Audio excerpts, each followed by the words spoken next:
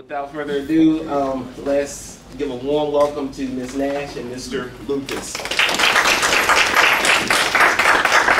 So I didn't know if, if we were letting you know that we're ready to speak or just let you know we're not going to walk out the door on you.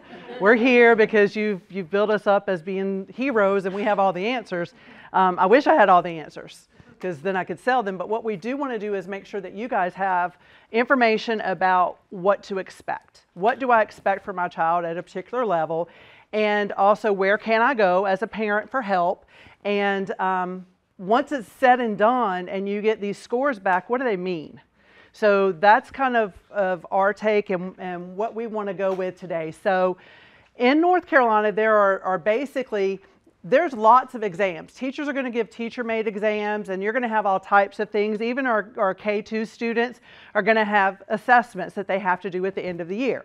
It's part of school, right? But what we're going to focus on today are, um, are these three types of required exams in North Carolina. So one is career and, and technical education exams. And um, Chip is going to talk about those in just a few minutes. But those are basically for students who are enrolled in particular career and technical education courses. So, you know, your high school student who might be enrolled in accounting one, there is a state exam for that particular subject area. Okay, so and he's going to talk more about, about those things. Then you have your end of grade exams, which are for your students in grades three through eight in reading and math, and then fifth and eighth grade in science. And then you have your end of course exams, which are um, mostly your high school. We do have some middle school students who may be enrolled in an end of course subject area, and we'll talk about those. But biology, English 2, NC Math 1, and NC Math 3, those are required. There's a state required assessment at the end. So these are the three that we're going to focus on um, and talk to you a little bit about today, making sure that you kind of have those resources and that information. So first we're going to talk about high school. We're going to kind of go backwards. We're going to talk about high school first and then work our way down to the elementary, okay?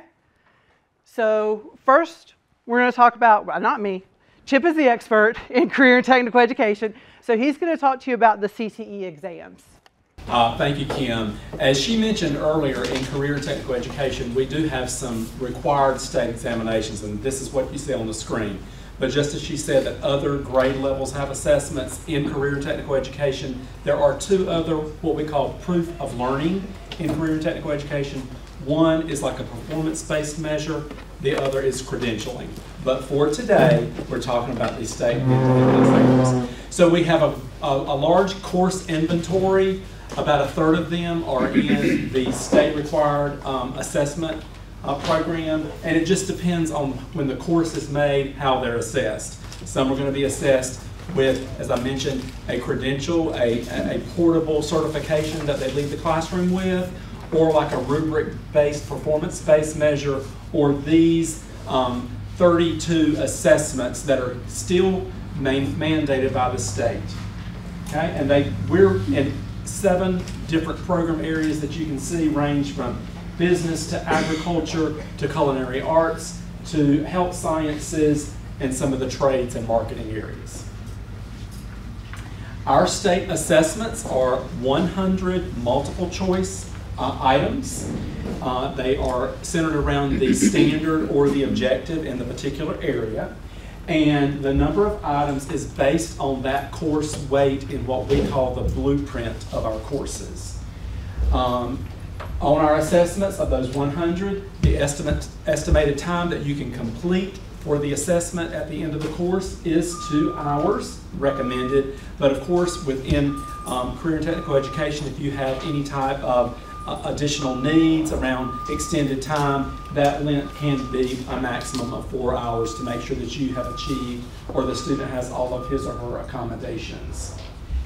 And our, uh, the way ours are uh, scored, um, our, our, most all of our students take our assessments on a laptop or a um, Chromebook, and we take it through a platform called um, CTE um, uh, NC Test, and CTE has its own platform within NC Test. And so the way that they're scored, they're um, scored for the courses in that standard course uh, in standard status, and they are scaled. And the scores, with, if the student makes 70 or higher, they are considered proficient. 70 out of 100, meaning that they would be proficient. If they score at 90 or higher, then that um, reflects definite mastery of those um, course standards. So that's just a little snapshot of how career and technical education is assessed in the state um, mandated um, uh, assessment area. Okay, so um, thanks, Chip. Other high school assessments um, that are mandated by the state occur if your child is enrolled in biology, English 2, Math 1, or Math 3. So, and again, this is based solely on course enrollment. You know, if you haven't had a child get through, get all the way to high school yet, basically it's whatever course they enroll in. It's not like grades three through eight where everybody takes reading, math, science, social studies. They, they choose or they progress based on their historical grades and what they've been able to master and go, go forward with. So there may be ninth graders that take math one. There may be ninth graders that um, take English two believe it or not. So that's typically a sophomore course, but it's all based on course enrollment. And basically, this is the layout, and um, the yellow is biology. Items, the number of items, approximately 60, okay? Somewhere around 60, depending on the test, could be 65. Those items could be, and we're talking at high school level now, we're, we haven't got to the littles yet, but they could be multiple choice, they could be what's called technology enhanced items. So it might be a drag and drop where you have a, a portion of a sentence and you drag it and drop it to replace something else. Um, it might be a text selection where you select a, a, you click on something in a paragraph that doesn't fit or doesn't belong. Okay, um, it could be where you click or drag a piece of a, a graph or something to that sort. So there are different types of items there's also what's called constructed response, which is basically what we used to call back in the day fill in the blank. You type in your own answer. You don't have answer choices. Okay, um, and those could, could appear in any of those. Um, for English, the um, English 2, the students will have to read seven selections. There are, they vary in length and in difficulty, um, but all aligned to the English 2 curriculum. The amount of time um, could go from two, two and a half hours, three hours, depending on the test, with a maximum of up to four hours, again, depending on the test. Okay, that is unless a, a child is identified um, with a 504 or in the Exceptional Children's Program and they have additional um, modifications to their testing environment. But that's basically the layout of the assessments. High school testing dates. Okay, so I put these here just for your awareness, but I do want to kind of point out that EC students, um, those in our exceptional children's department, or those who have to do makeup testing, may actually test on dates other than what you see listed. Okay, this is just where the majority of our students will test for those particular calendar days. But for example, May 22nd, I believe, is on a Tuesday. Some of our exceptional children may test on that Monday. Okay, um, just because of testing environments, we have to make sure that we meet all of their modifications. So we want to make sure that we have ample opportunity to do that. So that's kind of our high school testing. Elementary and middle. Now, you will have some middle school students, again, who may be enrolled in Math 1 as an eighth grader okay, they're going to take that same EOC as the high school students in those cases, okay? So that would take precedence over the EOG. But all of our other students in elementary and middle, there are assessments that begin for our EOGs in grade three and go through grade eight. At each one of those levels, there is a math assessment and there is a reading assessment.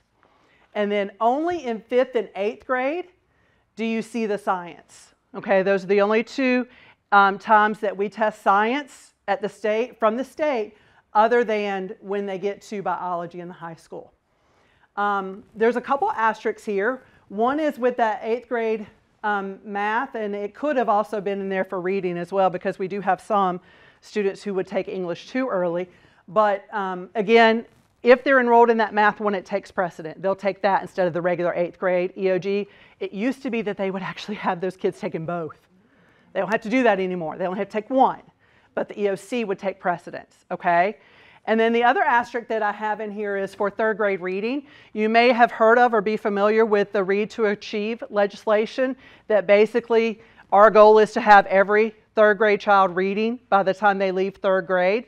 So um, a student who is proficient on that test, there are other pathways and other ways for those students to reach that level.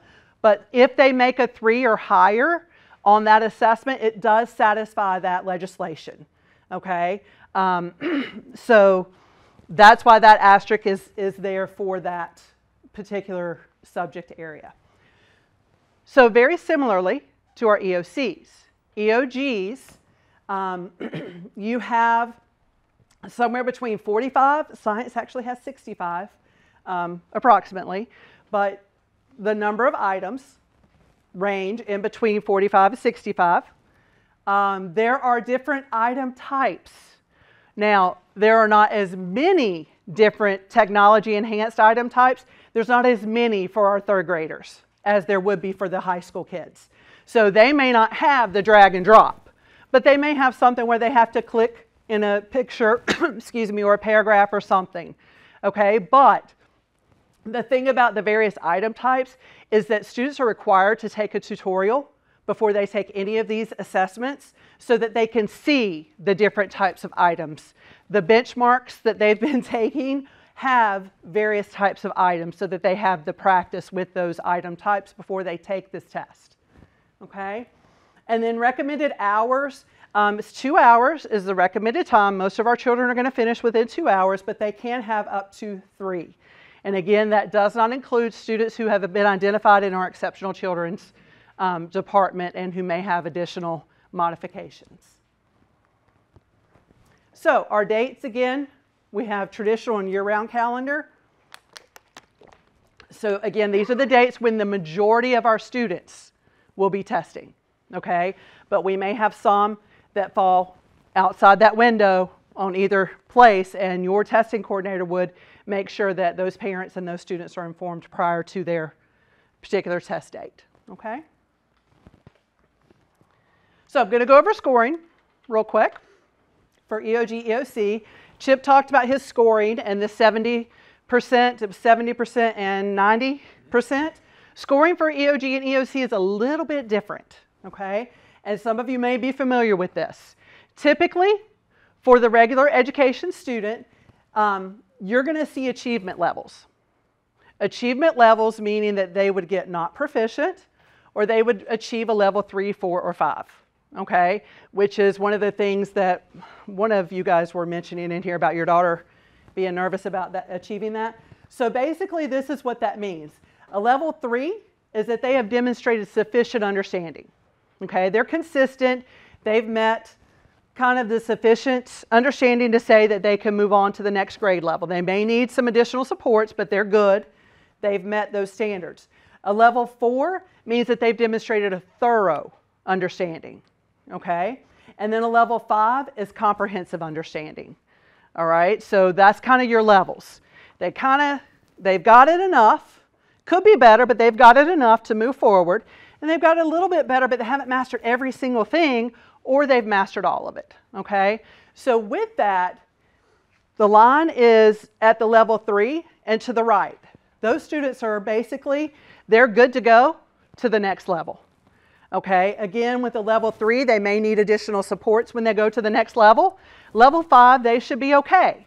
Okay, they've mastered this. They've got a, a complete understanding of the uh, standards that were presented at their current grade level. Okay, so these are typically the scores that you would see on an EOG or on an EOC. You also get, let me go back, um, a little bit after, after your, your child takes the test, in the um, PowerSchool Parent Portal, if you log in online, you get an individual student report. Okay, so that individual student report has lots of different things. It has the achievement level, and we're going to look at a sample as well. It does have the achievement level, but it also has a scale score, which is basically where there's different forms of the test, okay? And they basically take those, those raw scores and convert them to a scale score so that they can kind of compare them across the board. All right? So that's the first type of score that you see. And usually those numbers will be in the 400s, 500s, something like that if you've seen one before. Um, then you have a percentile. So the percentile score basically will show if you took the children that took that grade level test, and let's say that your child's percentile is 78 percentile. Okay, what that means is that your child performed better than 78% of the students that took that test that day. Okay, so that's what a percentile score is. If your child scored an 87 percentile, they scored better than 87% of the students that took that test. Then you're also going to have, for reading and math, you're going to have a Lexile score and a quantile score. So basically what a Lexile score is, is it translates into a level of your child's reading ability. Okay? Um, and I am going to give you um, a place, or I'll show you where on your, your individual student report you can go to get additional information about Lexile. And then quantile is very similar. It's just a math ranking that basically shows um, how well your child has demonstrated their ability to solve math and to learn new mathematical concepts. Okay, so they're very close. It's just one is related to reading, one is related to math. Okay? So this is a sample, and I know you guys have the printout. This is a sample of what the individual student report would look like. So what you see first, and this one is a reading sample. I gave you a reading and a math. So what you see first is almost like a little speedometer. It's going to give you your child's achievement level. Okay, so it's going to show that in this, this sample, this child scored kind of three quarters of the way to a four.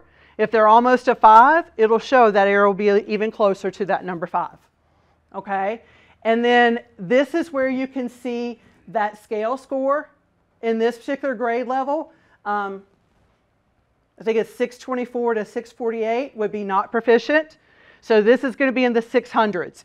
And it's going to show you, or it might be 500. I don't know. I'm right here and I still can't see.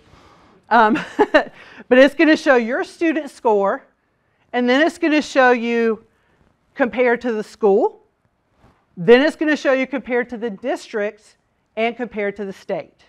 Okay, so in this case, this child did better than school, district, and state.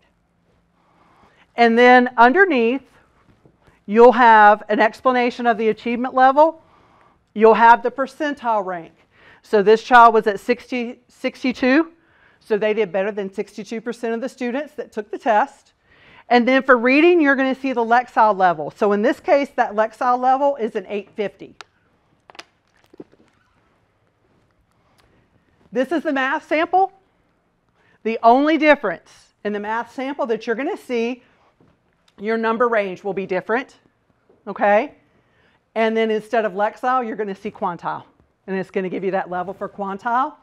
And then if you have it in front of you, you can probably see it a little bit better. But when you get this report, it's electronic, right?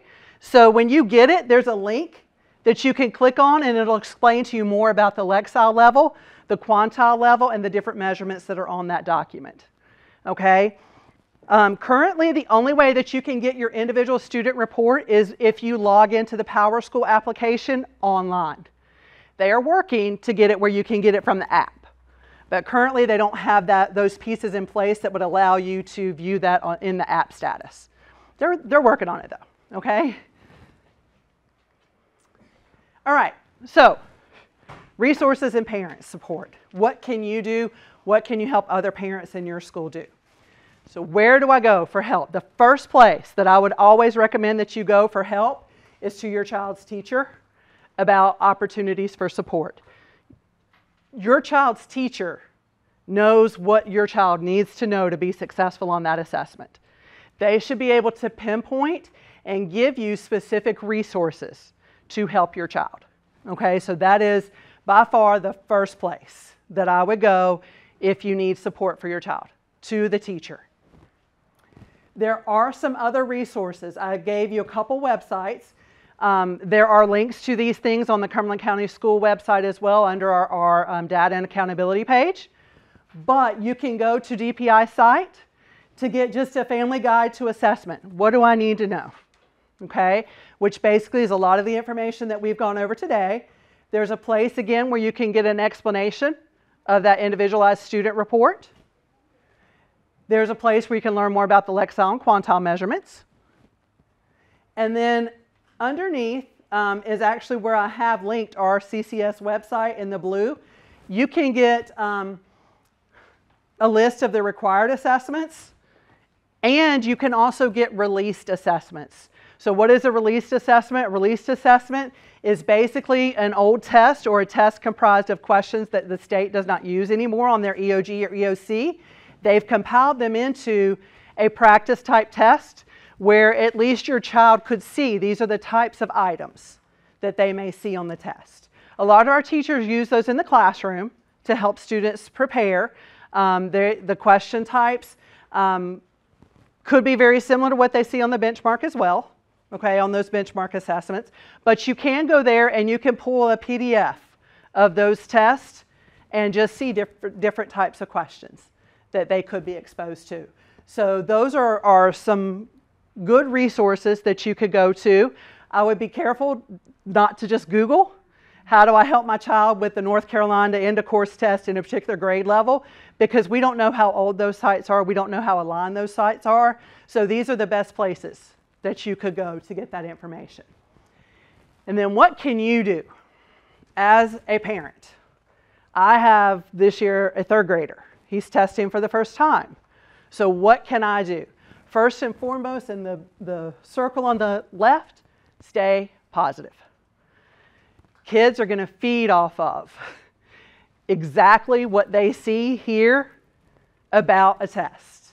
So if parents are nervous, oh no, they're going to take their EOGs today. We got to do this and this. They're going to feed off of that. If the teacher is nervous, they're going to feed off of that. Okay, so the best thing that you can do is stay positive about the test. I tell my child, when it comes to his benchmarks, you know, he's like, Mom, we got a benchmark coming up. I'm like, honey, it's okay. This is your opportunity to show what you know. It's not a big deal. Read the questions, take your time, do your best, double check. Where it lands, it lands. They've basically been running this marathon all year long for this test. And they put all this pressure on themselves about this one day and this one test. Now, I work in the Data and Accountability Office. But I firmly believe there's never one number, never one test, never one measurement that defines who a child is. So you help your children believe that too. Okay? Just help them, encourage them, stay positive. Don't schedule appointments on the test days because then that makes them even more anxious because now I got to go make it up on a different day and I'm not in my class with the people that I'm normally in there taking a test with, and I'm in a different environment, it might not even be my teacher that has to give me a test on a makeup day. So if you can avoid scheduling appointments, avoid that. Make sure your child gets to school on time those days. Um, there are strict regulations around all of our testing. If the teacher has started reading directions, the child cannot enter the room. And it's not that we don't want them to. It's that we have these strict regulations that we have to follow. So if they're late to school and that teacher has started reading those directions, they've announced you may start testing, the child cannot go into the room. And it literally might be one or two minutes into the testing session. But those are the rules that we have to follow. Okay? Make sure your child gets plenty of rest the night before. You know, it's not the night to take them out to a, um, you know, a brand new place, a ball game the night before that you know is not going to get over till 11 o'clock at night. That's not, not the time for that. Get them home, get them rested. Keep that same routine going, okay? Um, ensure they eat a healthy breakfast, avoid high sugar foods. That was my child's worst one on benchmark day. Because, um, no, you can't have that cereal today because you're going to crash halfway through the test, you know? So that might be something on another day, but you, don't, you want to avoid those. And then encourage your, your child to start looking at things now. Okay? Um, it's not a stress thing. Not to add more stress. We don't want them stressed. We want them relaxed. We want them walking into that test being confident. So if they start looking through things now and you just start refreshing their memory now as they go along, then they're going to be more comfortable when they sit down to take that test. So it's really about, you know, we have test anxiety ourselves as adults. Like if we had to go in and take a test tomorrow on what we talked about in here today, 90% of us in this room would be like, no, wait, what, what did they say? How do I do that? Because we, we automatically get nervous because we, we, we're being measured, we're being judged, you know, all of these different things. So just help your child to get used to that environment early. The earlier, the better. You know, just, just tell them it's okay. Do your best. Read through everything, double check everything. When it comes down to it, you know, as long as you've done your best. So, questions? Anything Chip can answer for you? Sorry, Chip. Yes, ma'am. Yes, are practice um. So, um, for our testing, the state does not require that there is a proctor in each and every room anymore. They used to do that. Um, they can have hallway proctors. So they could have one proctor for several rooms. And, and forgive me, I don't have those numbers right off the top of my head, how many rooms they can have, but they can have hallway proctors. Roving. Roving, Ro- sorry. Roving, yeah. We call it Sorry. Roving, but yeah. Roving, hallway. Yeah. yes, sir. Uh, one's a question and the other one is a, a comment. Um, what do you recommend for decompression the night before the test? So um, the first the first part of that, the nighttime routine the night before. For me, what I found works, even when as a classroom teacher, leaving the classroom, I want my students, I want my kids to have the most normal. What do you typically do? You typically do not sit down and try to read your entire textbook the night before test. So don't do it now. Okay? Because that's just going to add to the stress because once they start doing that, I'm not saying that they shouldn't prepare, but preparation has to happen before just the night before. So if I sit down the night before and I start stressing, I'm going to see a word like, oh, wait, I don't remember seeing that before, and then I'm going to get caught up in that. So I would say just keep it as routine as possible. If they have review materials from their teacher, go through those. You know, just kind of breeze through, check on some last minute things, but again, relax. If you typically have your meal together, sit down together, and then you typically, you know, watch a show together or sit down and have conversation, do that. Do that. Anything out of the ordinary typically will add stress to a child going to take the test. Um, in terms of the, the different types of stress, I think that it, that it comes down to knowing your child. Um, I have a um, very high strung child that's like, I need a five, mom. I need a five. My goal is to get a hundred. And so I'm, I'm talking him down from that because that's not a pressure I've put on him. He's done that to himself.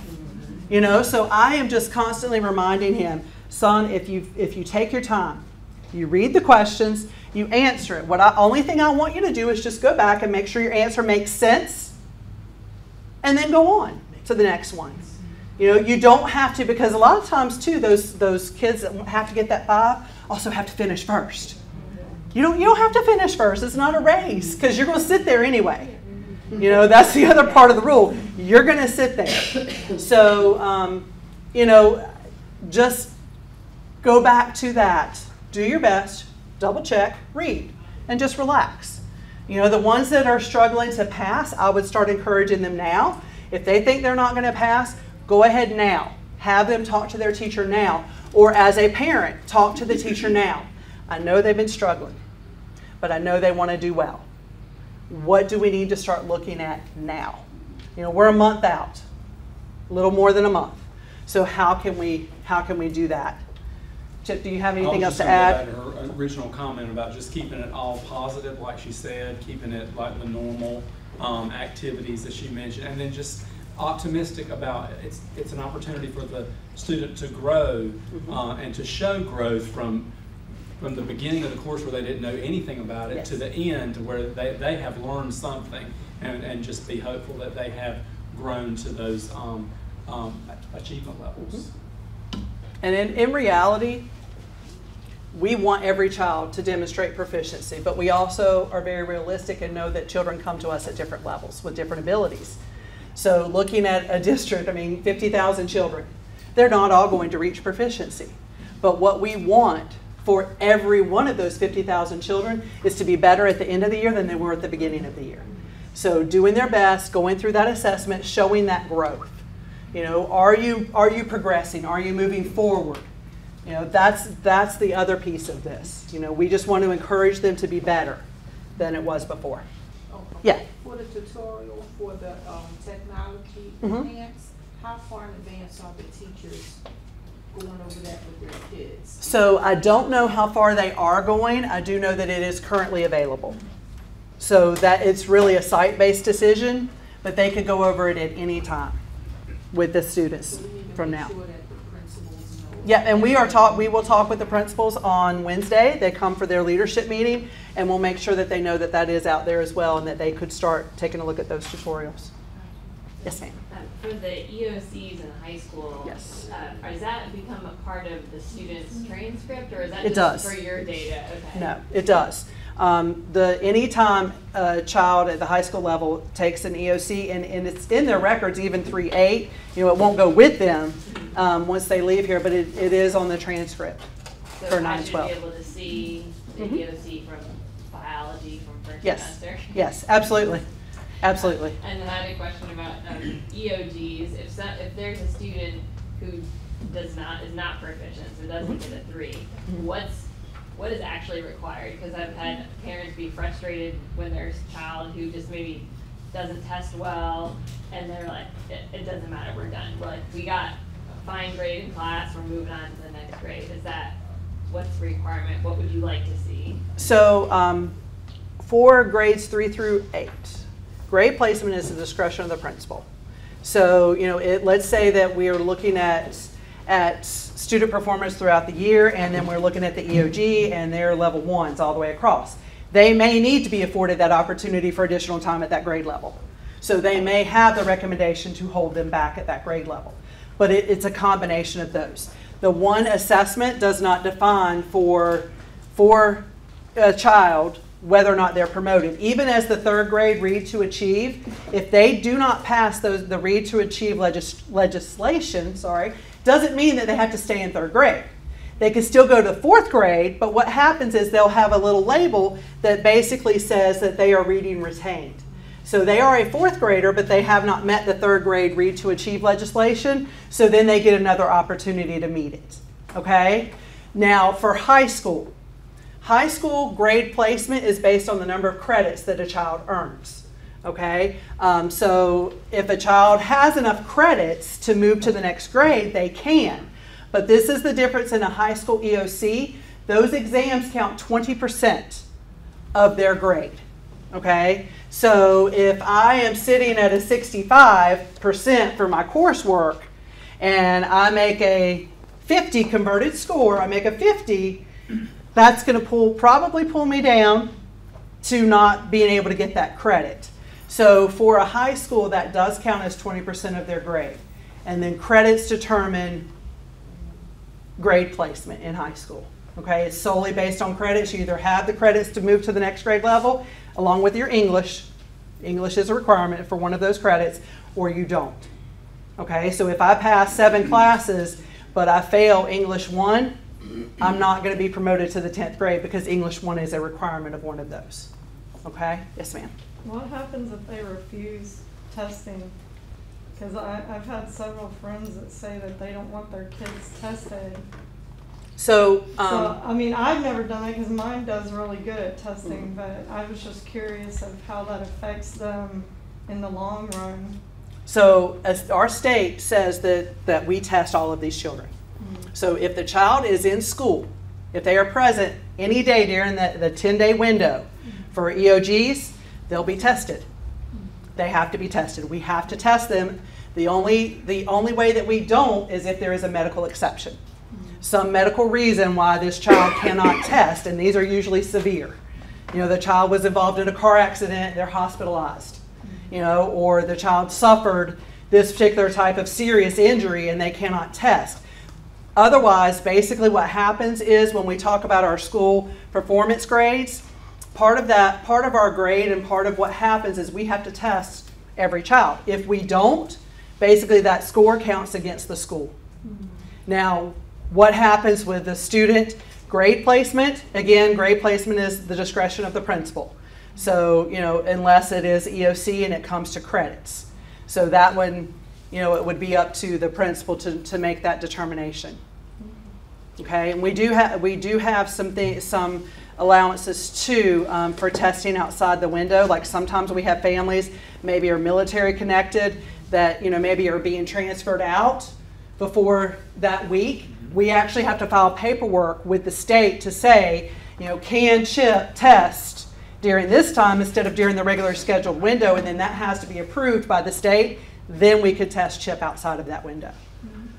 Okay, but all of those are decisions that lie with the state legislation around the assessment. And so, you know, from our office standpoint, when they come, they're, they're going to be tested.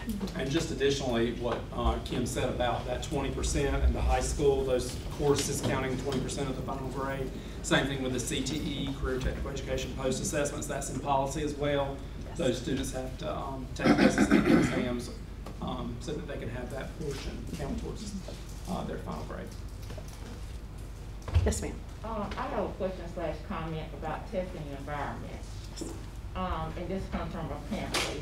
My child, and you know, at the last benchmark, the air conditioner was out. So these kids tested all of this benchmark week or hybrid it went without air. I mean, they were hot, like they said the teachers had doors open, trying to do whatever.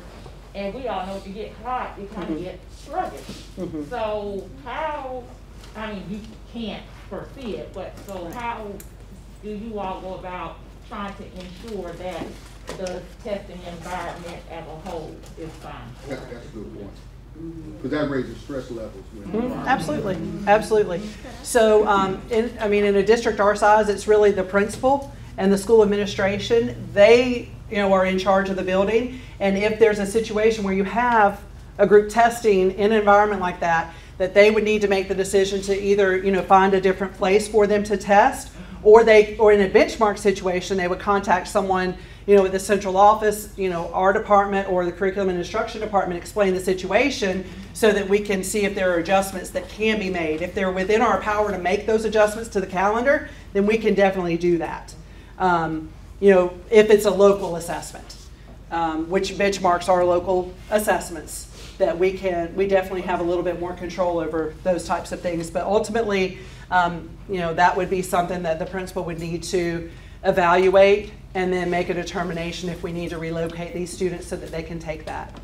You know, and I don't know if it was a whole building or a whole wing or, yeah. Far in advance are testing calendars put out, like for, for the 23, 24 school year? Um, the so uh, we get the information from the state that says these are when the the tests are, you know, these are our windows, and then we choose the windows in between. So usually we get that towards the end of May. So over the summer, during that time is when we look at the testing calendar to, to schedule all the different assessments that happen. You know, in high school there's so many more that happen um, with the ACT and all the different pieces. So um, it is usually right before they, the teachers come back, that that testing calendar will be finalized, and it is also available on the Cumberland County School webpage. When the kid needs that extended time and he's the only one testing, that's a lot of stress on him because all the other It kids is. are looking like, hurry up, hurry up. It's bad and they're trying to do their best. Yeah. And so can that kid be moved? No. Or can he? What is the? what- Again, and I, I, like, I don't, I hate to even say this, but it really, again, comes down to the, the principal decision, but if they're moved. Can you talk about that? Sure. Because- We will definitely cover that in our testing meeting, and, you know, if there are, yeah, if there are That's a lot of situations where they need to They're like, move, yes. Up, hurry up, you looking around, I mean, Yeah, absolutely. Yes, ma'am. Um, So I'm just trying to like absorb all this. I have a kindergartner. Slow down, come back in a few years. But, so I'm trying to understand like the process because also I've been out of school for a long time. So, um, so if you have a kid that's, uh, performed, you know, uh, well for every single benchmark that we're talking Mhm. about, then they come and do the EOC and they bomb it, like Mhm. they get an NT. Do you guys reconsider retesting, or this is like one time, like that's it, you, you are not proficient, period? but then it's So- like your fives all the way through, and then, I don't know, maybe you have like a horrible day and, There is, um, what the state will allow, there is a second opportunity to test that happens um, during the teacher workdays. okay. And so basically, students who don't reach proficiency, and this is for the EOG and the EOC, if, you, if they don't meet the proficiency, they do have the ability to come back and take that test again to demonstrate proficiency. And there is a remediation in between where the teachers can work with them. Um, and so that also pairing with the transcript question about, you know, what test is on the 912 transcript. If, let's say that I have in English 2, I had a level one, but I came back and, or not a level one, I had a not proficient, and I came back and took a retest, and then I got a level three. Both of those scores would show on the transcript. It would show the original score, but then would also show that re, that you know second opportunity to test score. So we're testing them even though they pass, or I'm saying, you know, I I feel like, I mean, if you get a three, you qualify, you pass. you're- Right, you're right, right. then it's like, It's know, only if you're not proficient that you qualify. So is the, is there like a district protocol that says, you know, instead of, um, now we just kind of accepted, well, this guy's an NP and I guess he's gonna do third grade twice? Or we actually, is that like per school, how does that work? So- Um, Where we see like, I have an NP and then I activate the protocol of, I call mom, I call, you know, I call the district, I coordinate, I let you guys know, and then we all say, hey, we know, you know, four, four scores ago, he's, you know, he's a three or a four, and, you know, Mhm.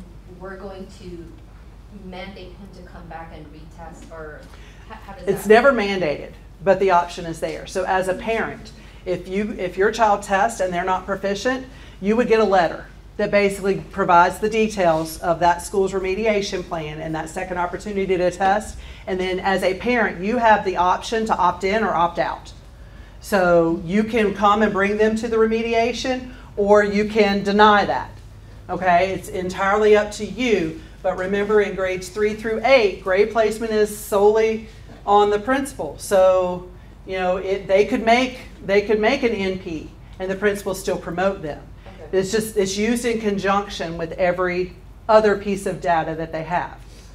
Okay, but you will have an opportunity if the child is not proficient. They do have the opportunity to come back and take the test again. I just want to clarify, did I hear you say that if people move outside of the district, if they're under sixth, uh, ninth grade, their test scores don't go with them? Their EOG scores do not? No, they if they stay within North Carolina, they do. Yes, they they go were scored. state, They do not. It's, it's still, it should, if that state enters the information correctly from the transfer process, it should still go with them. If they're, you know, high school and they've tested, those scores should go with them as part of their transcript. But if they're not in high school, they do not. They will follow the child, but when it comes to like college admission and, and Oh, things like yeah. that, nothing's gonna come from before ninth Right, grade. right, right. But yeah. Okay. Yeah. I was Does that thinking answer about- So for military kids who are Yes. going to different districts, if they're, if they, obviously it's not the same test, but if they're Mm-hmm. Correct. looking at those scores to determine, will you go to the gifted program, will you be in, you know, get a five oh four here or there? Correct. That information. All that is information helpful. goes with the child. That's what I, I, I Yes. misunderstood. You're Yes, talking I'm about sorry. college, Yes, yes. Okay. Yes. thank you. Can we give them a round of applause? Okay. It's a small. Thank so you. much. Thank you. so much. Thank you. Can we give them one more round of applause?